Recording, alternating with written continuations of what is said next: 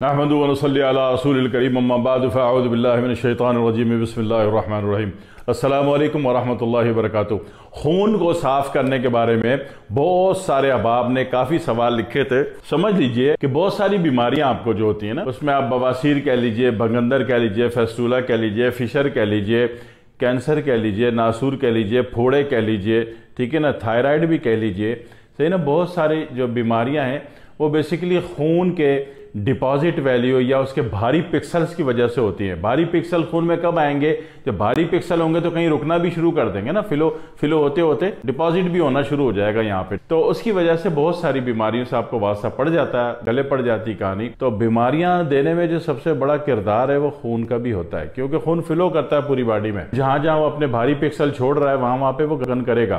कहीं कोलेस्ट्रोल छोड़ देगा, कहीं ट्राइग्लिसराइड छोड़ देगा, कहीं पे आयरन ठोक देगा, कहीं पे अपना टॉक्सिन लेवल छोड़ देगा। तो जहाँ जो जो चीज़ छोड़ेगा, वहाँ वहाँ वो बीमारी एक नए नाम से मार्केट हो जाएगी। तो उसमें समझ लीजिए कि खून को साफ़ करने के लिए सबसे पहले तो एक तस्वुर ये है कि जनाब करेले से खून साफ़ होता है। मैं समझता हूँ कि नबे फ़ीसद ये बात बिल्कुल गलत है। करेले से खून साफ़ होता होगा। लेकिन ये कि बॉडी बर्दाश्त नहीं करती। काफ़ी लोगों को उससे गैस बहुत ज़्यादा हो जाती, बदहजमी बहुत हो जाती है काफ़ी लोगों का उसके जनाब अली, वो गले को पानी आ रहा होता है, काफ़ी लोगों का बीपी कंफर्म हाई हो जाता है। करेले से शुगर वालों को शायद फ़ायदा होता होगा, होता भी है थोड़ा बहुत। लेकिन ये कि बाकी हाई बीपी वाले को तो उससे बहुत नुकसान होता है करेले से। करेला एकदम ब्लास्ट कर देता है बॉडी में जाके और वो इंसानी जिसम उसको इतनी आसानी से नहीं बर्दाश्त कर पाता। और चूँकि ये एक, वो चीज़ नहीं है कि जिसको बाबा खाया लिया जाए, एक दवा के तौर पर इंतहाई मुफीद है। शुगर वालों की दवाएँ बनती है, उसमें इसका पानी, इसका पाउडर इस्तेमाल होता है, वो ठीक है, दवा के तौर पर। लेकिन गज़ा के तौर पर करेला वारे भी नहीं आता, तभी अल्लाह पाक ने इसको कड़वा बनाया। समझ में आ रही है?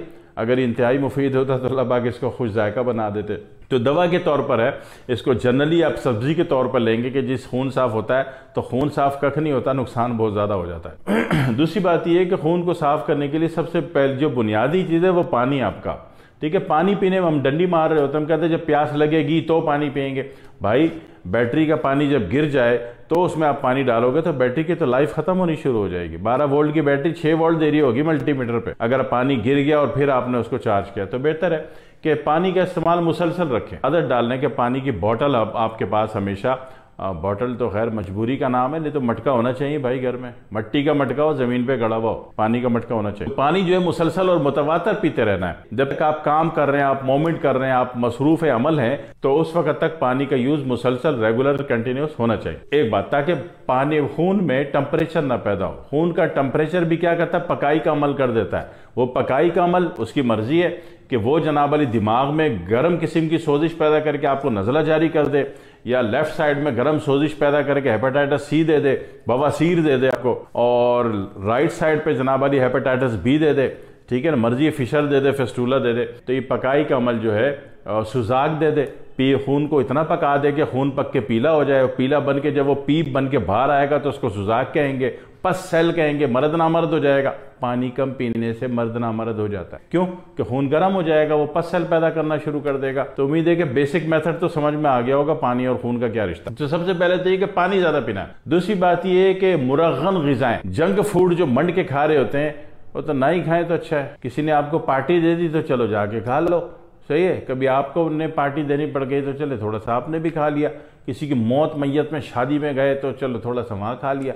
बाकी नहीं खाना है। बाकी जंक फ़ूड इतना आसान नहीं होता, खून को गाढ़ा कर देता है। और खून गाढ़ा कर देना कोई मामूली बात है। खून अपने पूरे फिलो में गाढ़ेपन को लेके जा रहा है तो वो कोलेस्ट्रोल दे देगा। और फिलो उसका जनाब अली अगर सिलो जा रहा है तो वो दिल के ऊपर जनाब अली ट्राइग्लिसराइड दे देगा। तो खून तो बेटा गर्क कर देगा आपका। खून से बना के रखनी है। हाँ जी। तो जितना भी जंक फ़ूड है, या जंक फ़ूड और जितना भी खाने के बाद पानी का पी लेना ये सारे का सारा, उसके बाद मैदे की बनी हुई चीज़ें, ये सारे की सारी चीज़ें खून में पहले दर्जे में कोलेस्ट्रॉल, दूसरे दर्जे में ट्राइग्लिसराइड। कोलेस्ट्रॉल में तो चलो ये है कि बड़ा सा मटके जैसा पेट लेके फिर लेंगे, घूम लेंगे। हालाँकि बड़ी आयदार बात है। लेकिन ये कि वो कोलेस्ट्रोल, वो ट्राइग्लिसराइड आ गया तो वो तो जनाब वाली अजीब अजीब दिमाग में फोबिया डाल देगा।